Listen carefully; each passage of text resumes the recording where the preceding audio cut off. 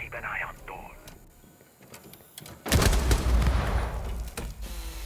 Device primed, keep an eye on door.